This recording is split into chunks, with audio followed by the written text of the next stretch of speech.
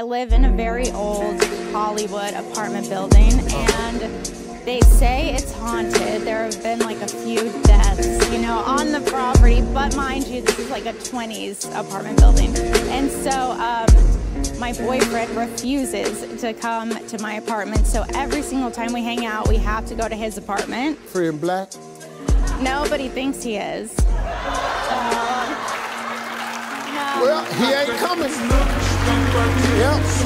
Rule number one in the black man: We don't stay in no damn party house. We move. We move. We don't do